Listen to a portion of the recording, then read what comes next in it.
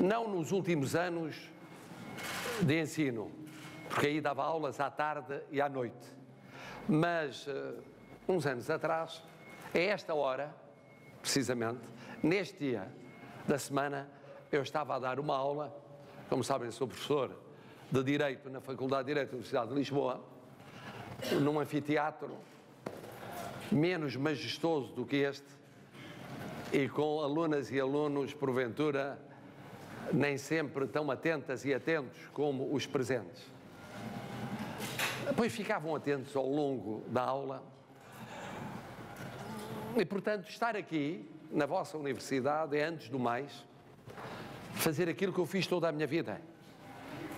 Eu fui professor, eu sou professor e serei professor. Portanto, sinto-me em casa. Estou em casa. Mas depois não é uma casa qualquer, é uma casa especial.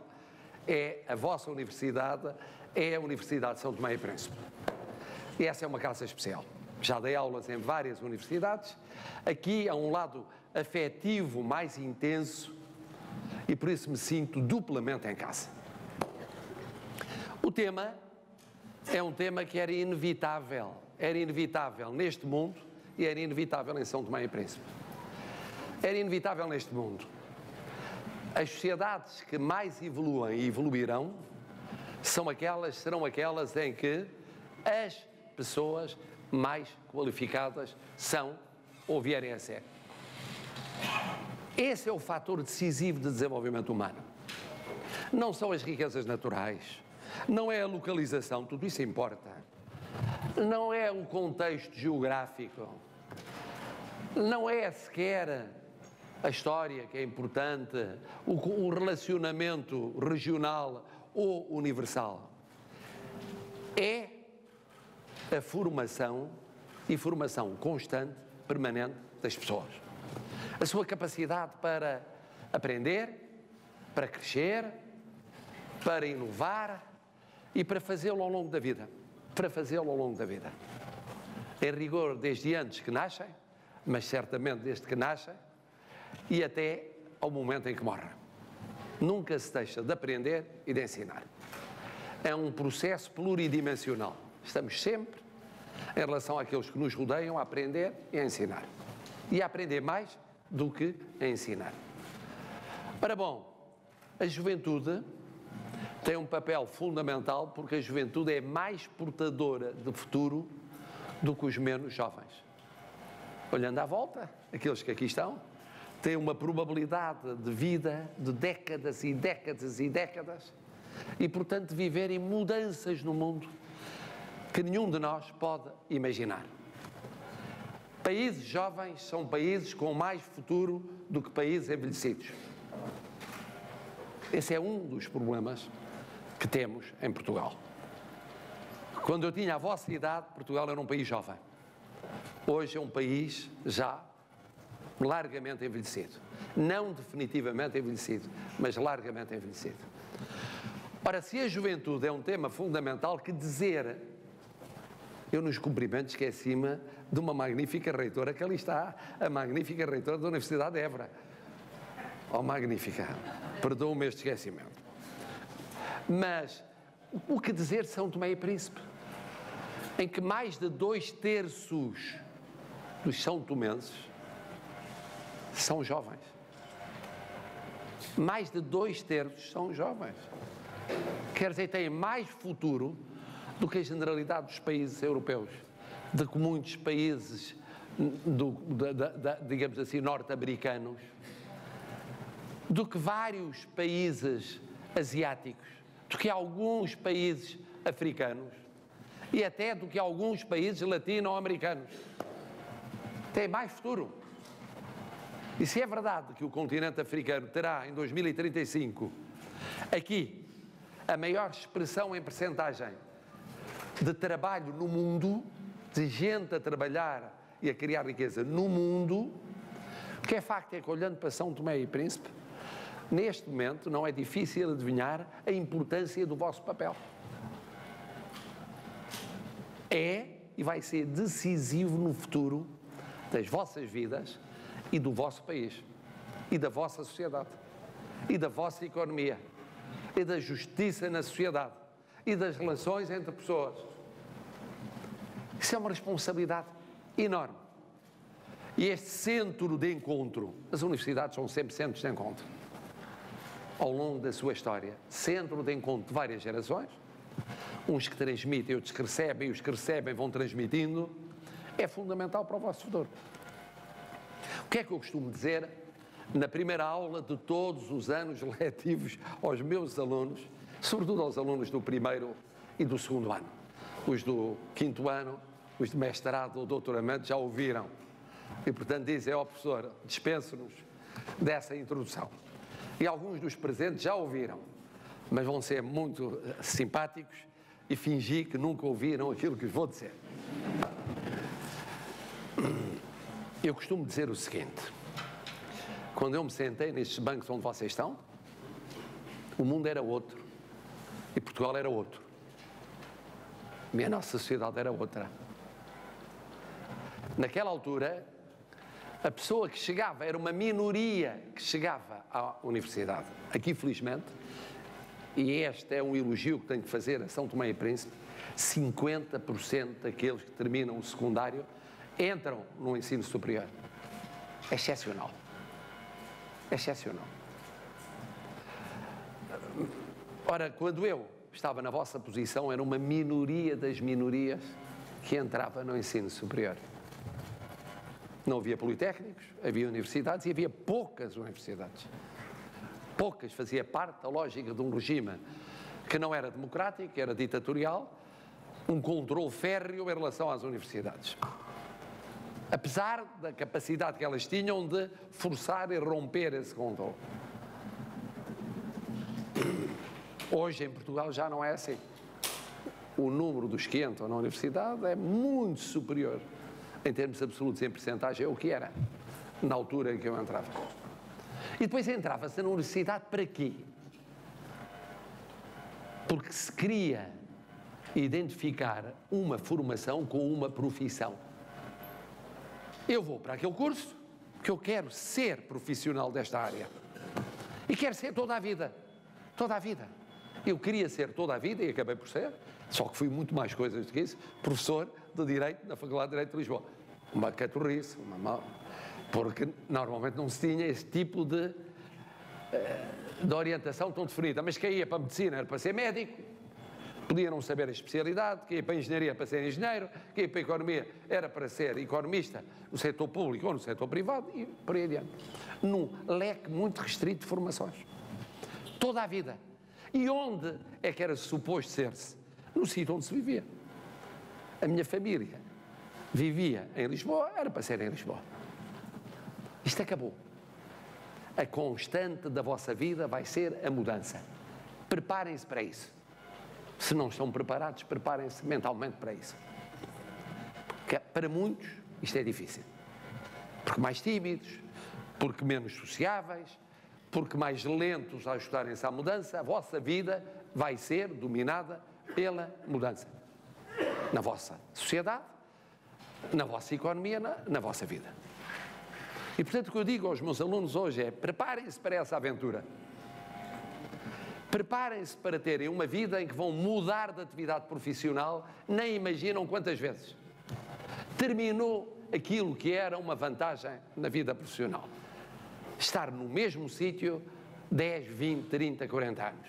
Isso não existe ou existe cada vez menos. E daqui a 20 anos existirá cada vez menos. E daqui a 30 e daqui a 40. Isso acabou. No mesmo sítio, acabou. Vão ser colocados para serem professores aqui, depois ali, engenheiros aqui, economistas acolá, dentro do vosso país ou fora do vosso país. Sabem lá onde? Em missões inesperadas. Vão viver mais tempo, muito mais tempo. Eu tenho aguentado bem, até ver, uh, e portanto espero viver ainda mais um, uns bons anos. No vosso caso, falar em 100 anos é falar naquilo que eu, na vossa idade, achava que era 70. 70 e. Estou a descobrir que afinal é possível não ser tão velhinho como eu imaginava que eram os quais septuagenários. No vosso caso, aos 70 anos, aos 80 anos, aos 90 anos, estarão numa forma invejável mas vão viver mais aceleradamente. Não vão viver lentamente. Há pessoas que são assim, vivem lentamente. Tenho amigos, colegas aí das atividades mais diversas, que é preciso fazer qualquer coisa e dizem, é preciso estudar o que eu vou estudar, para depois estudar, para depois vir a decidir. Eu digo, é um bocadinho difícil porque a decisão tem que estar pronta até daqui a três dias ou daqui a três semanas. Não pode ser. Pois é, pode ser. E de repente são chamados de manhã para a tarde pelo vosso chefe que diz: Eu quero um papelinho sobre isto. Mas eu não posso, não pode. Eh, eu quero um projeto de decisão sobre aquilo para a semana que vem. Para a semana que vem? É para a semana que vem, não é para o ano que vem, não é para a década que vem. É assim.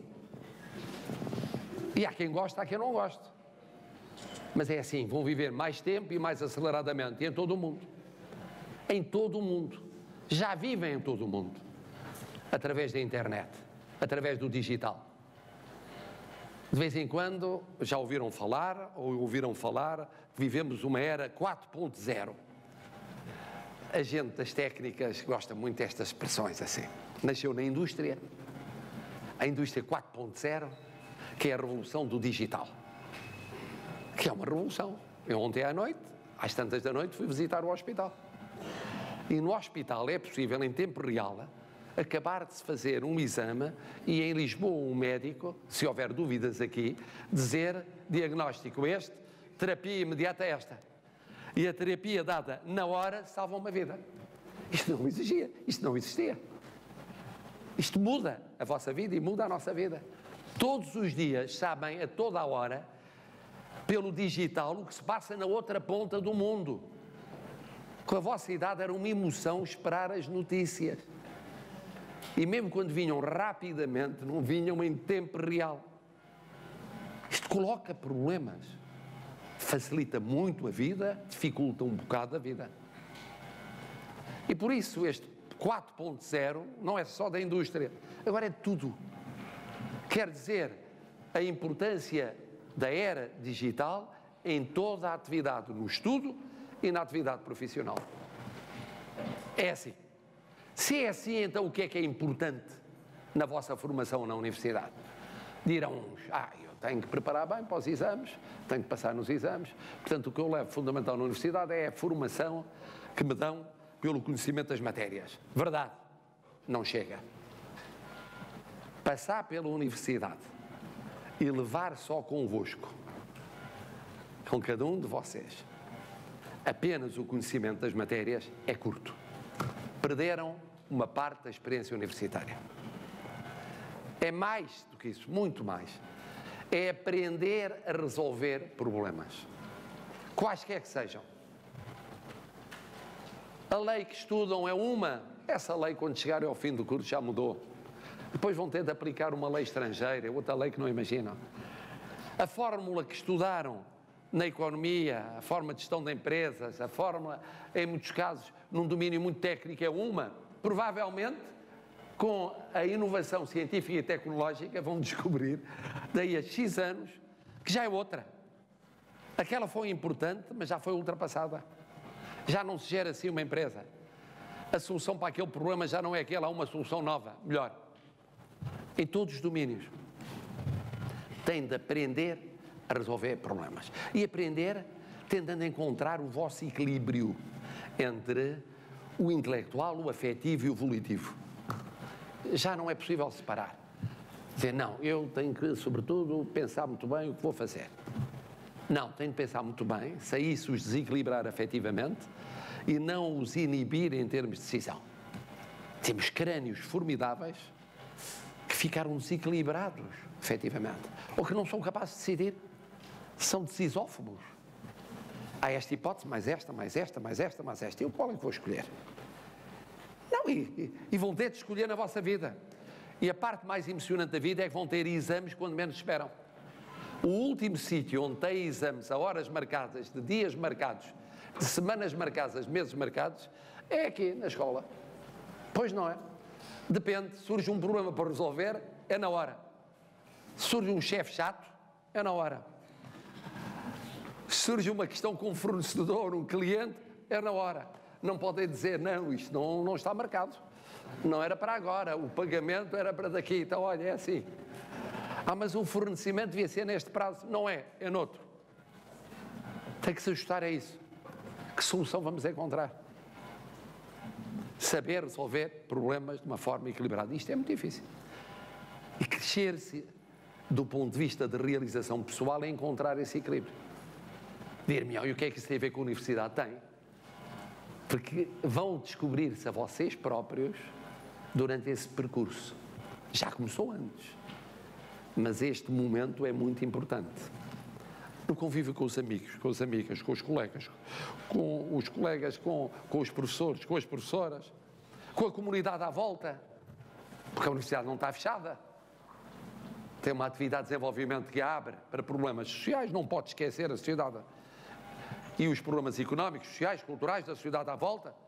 Se acabou a ideia daqueles cientistas geniais, que estavam numa torre de marfim e durante toda a vida estudavam uma coisa interessantíssima, não servia para ninguém, a não ser para eles, para a carreira deles.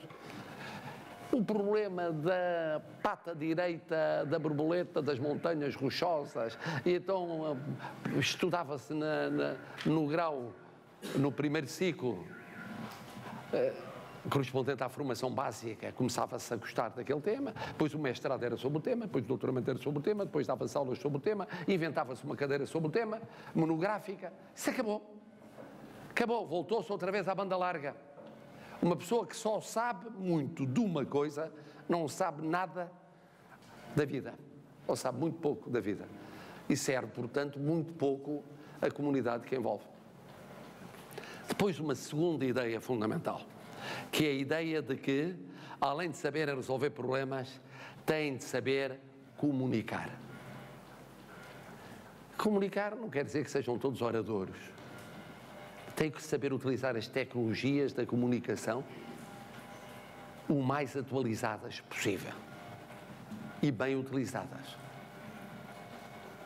Eu há pouco dizia, numa escola, em termos de formação básica, como há línguas que no mundo são muito importantes. E o português é uma das línguas importantes do mundo, hoje. Das quatro línguas importantes do mundo. Há países importantíssimos como a China, mas o mandarim não é uma língua falável no mundo. Ou o russo, a Federação Russa é muito importante. O russo não é uma língua importante no mundo. O português é uma das línguas importantes do mundo, com o inglês, com o espanhol. Chamemos espanhol ou que era castelhano. Bom. Mas é um número muito restrito. O francês não é uma língua, foi a língua diplomática não é uma língua importante no mundo. O alemão não é, apesar da Alemanha ser muito importante na Europa, não é. Mas depois não basta isso. Estamos na era do digital. Tem de dominar o digital. Quem não domina o digital fica info excluído aos 20, 30 anos de idade. Como é que vai viver o resto da vida? Toda a gente a querer comunicar por via digital e a pessoa dizer, eu não, olha, eu não consigo, faço aquelas coisas básicas, mas para mim não existe como instrumento fundamental de ligação ao mundo. Terceiro aspecto, saber localizar no tempo e no espaço. Vocês vão circular no mundo, já circulam através do digital. E circulam no espaço. Mas circulam também no tempo tem de saber localizar o que é, onde e quando. Dir-me, mas isso é uma visão ultrapassada, era no tempo em que tinha que saber geografia, saber história. Mas esse é um dos grandes problemas de hoje.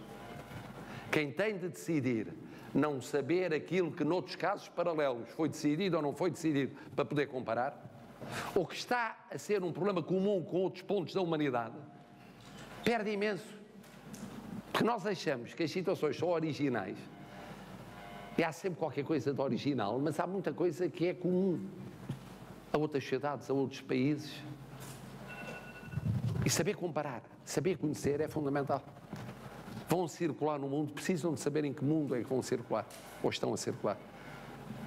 E em que tempo foi, ou será. E depois há um problema fundamental. Nada na vida é neutral. Vocês têm que ter os vossos valores e não há duas pessoas exatamente com os mesmos valores.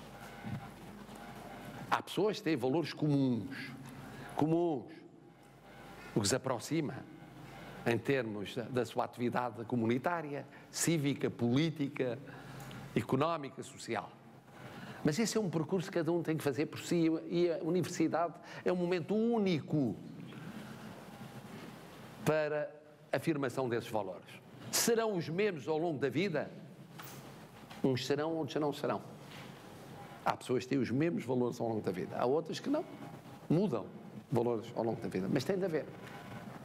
Como é que eu me relaciono com os outros? O que é que eu posso e devo fazer na relação com os outros? Há limites? Vale tudo? Vale tudo para eu realizar a minha ambição pessoal, o meu interesse pessoal? Ou há limites? Baseado no respeito da dignidade das pessoas e da pessoa concreta, não é da pessoa abstrata. Amar a pessoa abstrata é a coisa melhor do mundo. Eu amo a humanidade. O chato é amar a pessoa que nós encontramos às sete da manhã, quando saímos de casa, e que surge na hora errada com um problema que vem perturbar a nossa vida, que já vai atrasada para o emprego e para o compromisso. Aí é que de repente dizemos: Eu amo a humanidade, mas por acaso é uma chatice este vizinho, ou este familiar, ou este aluno, ou este colega que aparece com um problema na hora errada. Já amo menos. E como todos os dias, todos nós nos relacionamos com centenas de pessoas, os mais tímidos com dezenas, nós temos a oportunidade de ter paciência para eles e elas ou não termos. E respeitarmos a diferença ou não respeitar. Também serve para isso a universidade. Aprender a respeitar a diferença. Nós somos todos diferentes. E o que apetece, sobretudo em alturas em que temos problemas pessoais ou há problemas coletivos, por instinto de sobrevivência, é sermos egoístas. Eu primeiro vou tratar de mim. Nós primeiro vamos tratar da sobrevivência e depois vamos pensar nos outros. Errado. Por muito que custe, como ninguém trata de si bem sem pensar nos outros. Ninguém. Tal a interação que existe entre nós. Tem de se olhar para os outros e conviver com os outros e aprender a diferença que existe em cada um dos outros. Isto, dir-me-ão, mas isso não tem nada a ver com as matérias que estamos a dar. Tem. A diferença entre um bom professor e um mau professor passa também por aí. Pode ser um grande investigador, pode ser um grande especialista numa matéria. É alguém que não deixa traço na formação das pessoas, nos momentos de encontro. Foi uma oportunidade perdida. Foram horas e horas e horas que podiam ser de encontro e houve desencontro com os professores. Houve desencontro com os colegas transforma-se a universidade num armazém de aulas e de exames. Isso é uma perda de oportunidade. A universidade é um momento único de socialização, único de comunitarização, de vivência comunitária. Isso vai ser importante depois ao longo da vossa vida. Primeiro, porque a tarefa da universidade não para aqui, continua. A formação é permanente irão e virão e haverá formação permanente ao longo da vossa vida. E depois porque é uma idade ótima e uma oportunidade ótima, com uma disponibilidade ótima, que poderão não repetir exatamente noutros momentos da vossa vida, para beneficiarem desse período único. Período único. Nunca esquecendo da comunidade. Nunca esqueçam a comunidade. É verdade que, sendo 50% daqueles que acabaram o secundário, eu já não posso dizer aquilo que muitas vezes dizia noutros sítios, que é vocês são privilegiados. Mas são um bocado privilegiados. Metade dos que saíram do secundário não entrou no superior. São privilegiados. Há muitos outros com a vossa idade que não entraram cá. Não estão cá. Quem mais recebe, mais deve dar. Vocês estão a receber mais desta oportunidade mais devem dar à comunidade. Ponham a questão assim. Cada vez que estiverem desiludidos, frustrados, a pensar que, e muitas vezes legitimamente, foram para uma área, querem mudar para outra área, quanto mais flexível for o sistema, melhor, e vão a tempo de o fazer, e vão mudar várias vezes ao longo da vossa vida, mas pensem no seguinte: estão a contribuir para que, não apenas a vossa felicidade, mas daqueles que não estão aqui e não estão aqui sendo da vossa geração e não estão aqui sendo gerações mais velhas, que aí a percentagem é muito maior dos que não chegaram nem nunca chegarão ao ensino superior, estão a pensar neles ou não estão a pensar? É-lhes indiferente. A maneira como vivam, economicamente, socialmente, não pode ser indiferente. Não há neutralidade nisso. Pode-se ter várias ideologias, várias doutrinas, várias posições sobre a organização da vida económica, social, política. Agora, ser-se indiferente, eu não compreendo. Não compreendo. Uma pessoa para quem é indiferente o que se passa na comunidade em que vive. Nem sei como é que seja possível viver nessa comunidade assim. Já perceberam porque é que é tão importante ser-se estudante numa universidade e é tão importante ser-se professor numa universidade, ou seja, também estudante na, na universidade. Isto podia dizer-se todas as escolas, mas isto de forma especial na universidade. E no fundo é isto. Isto parece muito simples, não é nada de aparentemente muito elaborado. Não vos estou a falar das grandes soluções para o universo, da geopolítica mundial. Não vos estou a falar das fórmulas mais adequadas para governar os povos, ou para conduzir as economias, ou para resolver problemas sociais. Estou a falar, se quiserem, de um problema que é anterior, ou de uma questão que é anterior, mas que vai acompanhar toda a vida.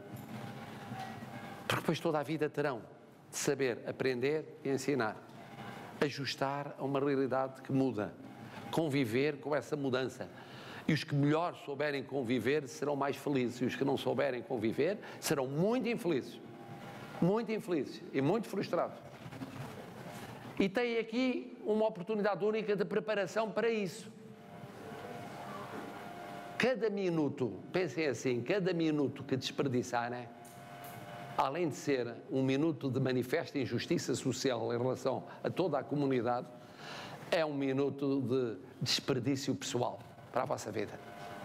Podem demorar um tempinho a perceber, a dizer, é, o que eu podia ter aproveitado para conviver mais com isto, aquilo, para tirar proveito mais daquela situação, para olhar mais para esta realidade social que não olhei. Ora, agora já tenho um problema, mais família, mais isto, mais corrida de um lado para o outro, mais encargos de natureza profissional, mais responsabilidade. Se eu soubesse os que aqui estão não podem dizer que eu, pelo menos, não fiz um esforço para chamar a atenção para isso. Fiz esse esforço.